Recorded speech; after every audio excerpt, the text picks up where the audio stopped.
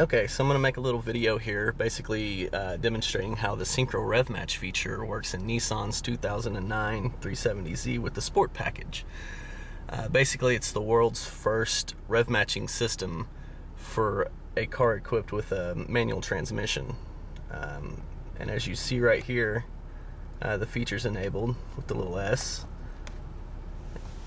And right down here we have the bu button that turns it on and off. And to turn it off, you basically just push the button down and hold it, and it turns off. So let's see how this puppy works. Okay, so we're cruising on the highway here, and I'm gonna go down through a couple gears.